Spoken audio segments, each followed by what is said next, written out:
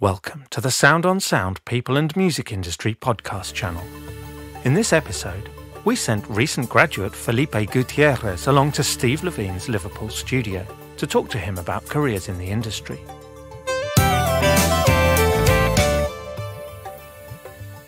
Steve, thank you so much for having us here today at your studio. We've been talking about all sorts of things, but now we're going to start talking about life as a producer and engineer straight out of university, your early years. And the question we want to start out with is Do you think it's necessary to have a college degree or university degree in music technology or production in order to make a successful career in the music industry as a producer or engineer? Well, these days, I think it's absolutely crucial because the world has changed so much. When I started as a T-boy, in fact, it was a, that was the term then, even before you progressed to what became tape op, assistant engineer, and then fully senior engineer. The issue in those days was virtually every record company had a studio, and there were also a large number of independent studios. So getting a job as a sort of an apprentice was relatively easy. The problem that we have today is there's so few studios. There's very few commercial studios, and there's even less private studios that have a commercial bend. So, for those few jobs that are available, I think it's absolutely essential that you have a good education and a good foundation in the sound technology courses that are available because the person that will be giving you the time doesn't have time for you to mess up. Whereas in the olden days, that was very much the process. For example, when myself and Simon Humphrey first worked with groups like The Clash, that was because we were the junior engineers, and CBS had a policy of allowing the junior engineers who were transitioning to senior engineers to use their demo facilities in Studio 3. So it meant that doing demos for the record company, if things went wrong, it didn't matter, they were demos. So we learnt our craft really, really well. You don't have that today. And in fact, when I do uh, my masterclasses for some of the LIPA students, it's very much teaching that method. So, for example, I'll have the students in my studio here, I'll have a local band, I'll bring one of those bands in the studio, and then I'll have the LIPA students as if they're my tape ops. So we go through the session, anything that they want to ask, we, we can focus on. So I feel very confident that all my students would leave me and be more than capable of working with any producer to a very fine level. So that's why I think it's absolutely crucial that you have a good education. Which is a really hands on approach as well, yes. you know, that you're getting from LIPA. That's the case with these courses. The sound technology courses are very hands on, whether it's in a university or whether they have a third party studio they work in. The students are learning as if they're in a commercial world. So that's the difference. Whereas in my day, you could learn in a commercial studio those facilities are just not available. Do you think there's something that maybe that was really important about that process of being the T-boy and knowing that hard work Yes, working with clients is important, and I think that's something you don't get at university. You may have a great technical knowledge, but it's also very, very important that you work with people because part of the your CV of what you're good at, yes, you need to know where to put the microphone, how to record properly, make sure your levels are good, but you also need to work with people, and you need to remember that most of the artists that you might work with are often delicate people. Some are very, very shy, surprisingly, even though they perform. A lot of them are very shy. So to create the studio environment where they feel the most creative is really, really important. And that's something that only experience gives you. So if you're at university, try and work with as many local bands as you can, just so you get that interaction, because that is really important. There's no point in being a great technician, but you're an automaton.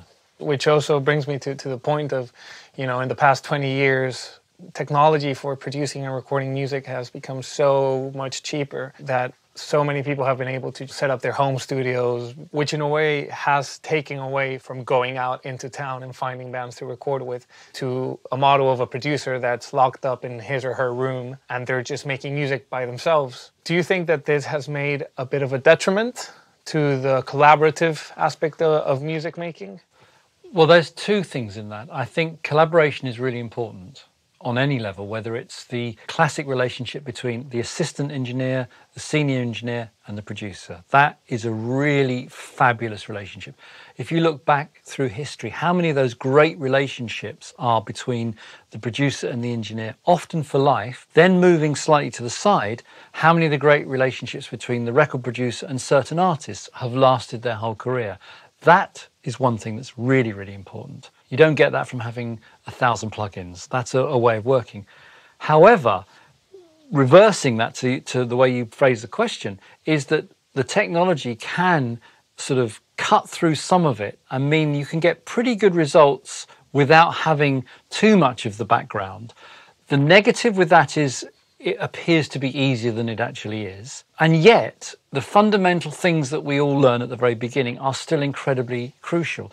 Placing the microphone in the right spot is still one of the greatest ways of recording. But it's fair to say that there are things that make certainly my job as a producer so much easier. There are things that I can do now that I wished I could have done X years ago. And there are certainly tricks that you can learn using the equipment that's available today with the knowledge I learnt many, many years ago. Because I think the fact that you can create music with pads versus a traditional keyboard is incredibly important because it's opening up lyric writing, creativity, and songwriting to a generation who may not have been lucky enough to have learnt an instrument, but have really great creative ideas. So I don't see that as a negative. All great songwriting is all great songwriting. I don't care where it comes from. You can have all the technology in the world, as we often say, all the gear, and no idea. You need a great idea. And you can create a brilliant thing if you've got a bit more equipment, but it's still down to having a great idea. On that note, when you go to university, you have access to, you know, all this amazing gear, right? Which I think is one of the great things about Yes. going there is Yeah. you get to learn what good high quality Yes, stuff sounds like, yeah. what it's meant to sound like, right? But at the same time, you leave university and then you realize all of a sudden, of course, I had access to tens of thousands of pounds and dollars worth of equipment. And now I'm left with this. And, and I thought to myself, so, so many of my favorite records were recorded to a four track or an eight track recorder and used with such such very few resources but still great engineers were able of getting great sounds do you think that that approach of of getting first great ideas before thinking about great gear is something that's a bit lost No. I think that every generation uses the tools that they have to the best that they have. And it's very interesting for me as a record producer when I work with artists from different generations who are used to working with different formats of work. So, for example, very recently I did a session which I used Toe Rag Studios, which is an eight track vintage studio. And it was a younger guitarist. But what was interesting about that was that they wanted to record onto tape. But they forget that with tape come other problems, such as, oh, Steve, I really love that take. Can I just punch the guitar in? Yes, you can punch the guitar in, but I can't punch out because the head gap is too big because they're used to a laptop where you can punch out like that. Conversely, I will have to name drop a little bit here. When I was working with Brian Wilson with the Beach Boys, who grew up with the technology you've just described, four track and then eight track, when he records his lead vocal, he's absolutely so used to listening to the line before and punching in and listening to the other part when he double tracks or harmonizes. That's the only way he can work, and it is the best way for him to work. Whereas a modern artist might just do, say, three random takes and comp them together. He couldn't work in that way because he needs to hear a, a visual comp and an audio comp as he's going through. I had some students recently where they were discussing the kind of guitar sound they were wanting to create on the record. And essentially, it was like a, an Isley Brothers fuzzy sound. Now, we know roughly what that was. It's not an AP7 like people said because that had actually come out later. But essentially, it's a, a fuzz of some description. In his case, probably a maestro that was available and a phaser of some description. Now, so I went through the. That was the sound that they wanted on their record. They described it to me, and they sort of. And I said, "What you mean like this?" I mean, "Oh yeah, yeah, that's the sound." So I said, "Well, how, talk me through the process of how you did it and why you're unhappy with your sound." Turns out the poor guitarist played DI into the laptop, and they put the effects on later. And I went, "But what you're now describing is is actually." performance, the poor guitarist wasn't stimulated by the sound. Let me show you. So we set it all up with the fuzz, the phaser, and all the rest of it, and literally first take. And they went, "Oh my god, that's so brilliant!" Now, what they were liking was, of course, my wonderful sound, but actually what they were really liking was the performance. And it's very interesting. You mentioned earlier about having choices of microphones. You can have an 87, you can have a cheap mic, or anything in between. If you've got a rubbish performance, it doesn't matter whether it's a 47 or an 87 or a. esoteric C12. Yeah. Performance is king, getting the great performance. And I think that people can, when they work alone and in isolation, can forget how important performance is. And when they listen to a record and they say, wow, I love the sound of that record, they're actually liking both the oral sound, but also the performance. Absolutely. And in so many cases, when people play me records and go, oh, I love that drum sound. Mm-hmm it's an okay drum sound, but it's the performance that the drummers made. Again, with sound technology students, it's very easy to get hung up on the technology and forget about the performance. Absolutely. I, I remember being caught up in my teenage years when I was starting to play. You know, I was like, oh, I want to sound like John Frusciante or like Jimi Hendrix or like Mike Stern or John Scofield. And I was just looking into their gears, looking through the darkest of forums and trying to find what they used. And I remember I um, and I went to to a summer program in Boston and and one of the teachers gave me a lesson that I never forgot. That he said, I told him, "Oh, you know, I just want that funky sound, James Brown, Nile Rodgers kind of thing. Like, I just don't know what settings to put my amp to."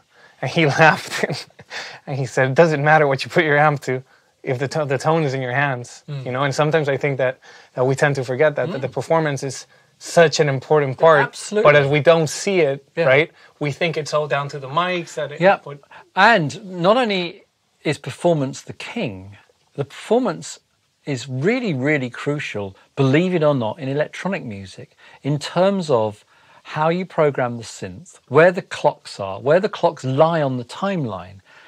These things can make an enormous difference. There still is an element of feel that can be either intentionally superimposed on the performance or unintentionally. So, we've talked about all these things, and I just remembered I just got an MPG Music Producers Guild email um, with a survey about working for free. Mm-hmm.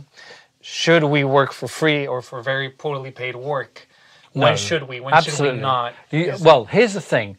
If you're working on a commercial session for a commercial producer, then absolutely not.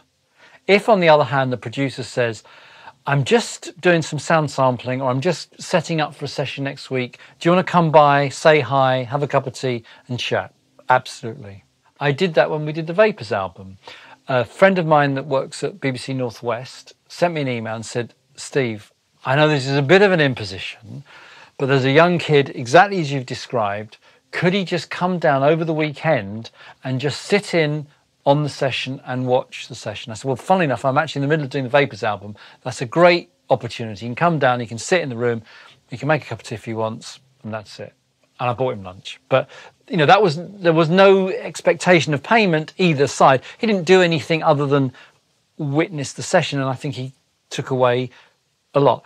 Had I said to him or some some other person, come down and can do this, this, and this, and this, that's a commercial yeah, yeah. arrangement, and they should be paid.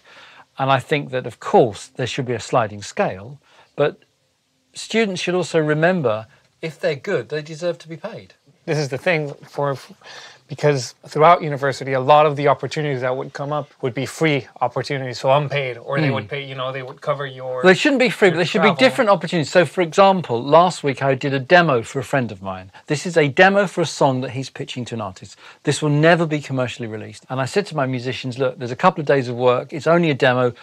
What do you want? So they cut him a deal that they're all happy with. So you can have different rates for what you're doing. But I think that free shouldn't be allowed if you're contributing to the session. And I think as my advice to students, don't do it. There's plenty of other opportunities. Just saying, just literally say no. I think it's important to keep a flexible mind that each project is different because sometimes you also yes, meet the people that. But you're also describing what would be the next stage of someone's career. You need a flexible mind, and if you're a freelance person, there's no point in being embarrassed about asking for money because that's that's what you're doing. Here's an interesting thing that has happened with the modern world. Most bands today, whether they're a band, in the case of, say, Space, or a solo artist, because they're effectively doing it themselves, they are having that conversation. So they say, Steve, our budget is this, we have that for recording, that for mastering, that for vinyl, that for CD, that for keyrings and stickers. What do you think? And you go, I take a commercial decision and go, well, that's it, that's fine, that's the deal. And I think that many, many bands and artists now have to have that conversation. So it is a much more open conversation. It's not like, oh, speak to my manager and discuss it. It's, I've got £10, is that acceptable? Yeah. And if you go, actually, that is acceptable, or no, I'd really prefer 12, or 10's okay, but I need this as well, or wh- hmm. whatever the. Which know. is the other thing as well. There's other ways you can negotiate. it Yes, I think it's only fair now that a producer, especially when a producer is working developing an artist, that I think that you look at an equity share in the intellectual property. Now, whether that's an intellectual share of the, well, certainly an intellectual share of the sound recording rights, that goes without saying. And then depending on your contribution to the song, there should be an agreed percentage. And again, you should agree these well ahead of it being released. And I have that, that actually is almost my condition of work now. If I'm going to work with somebody new, I say, these are my terms, take it or leave it. I mean, I had an example of a band I didn't work with. I won't say the names. I'm quite happy to gift somebody a day here to run through their songs so I can decide if I want to work with them. So I set them up live in this room and they run through their set list and I can hear everything because I love hearing things in this room at a reasonable level, you know, not, not so loud, but I can see how the people are playing. I can see what the tempo of the band is in terms of who's the leader, who's the subservient. That's really important as a producer. You've got to find out, you know, how does it all work? That doesn't change, I tell you. That doesn't change whether you're the Beatles or Culture Club, the Beach Boys, or any of these bands. Everything is the same. So we run through the songs, and it's an interesting mix of sounds. There's some acoustic instruments, a couple of electronic keyboards. There's one song in particular that's very, very strong. So I also like, as a producer, I'm thinking of sounds. Tell me the story of the song. So they start describing the song. And, and the singer said, well, I went to this guy's house and he played me some beats, and then I came up with. The, I went, hang on a minute, that, that's a co-write. No, no, no, no, no. He just played me some stuff, and I can't. You know, they're my words and my melody. I said, no, no, no. But you went to his house and he played you the, tr- you know, a set of tracks. that's a co-write. No, it isn't. I said, well, it is. That's an absolutely clear. And after the session left, I spoke to the manager and I said, I'm really sorry, but there seems to be quite a fundamental problem here of who thinks who wrote that song. I said, because for me, I can't work on a project if there's a massive skeleton in the closet that's going to come out.